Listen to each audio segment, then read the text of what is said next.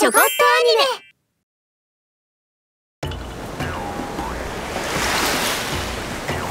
いやいい湯ですね。そうですね。今日はお一人です？そうなんです。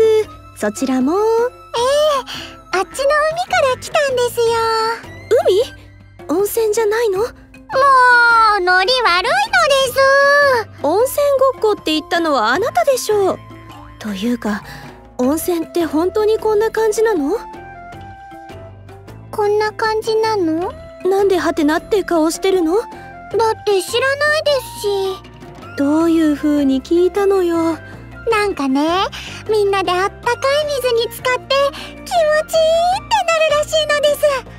カリフォルニアアシカさんは温泉知ってるですか？え？し知ってるわよ。えー、どんな感じなのです？みんなであったかい水に浸かって気持ちいいって感じかしら？やっぱり！それじゃあ続きです。今度ガイドさんに詳しく教えてもらわないと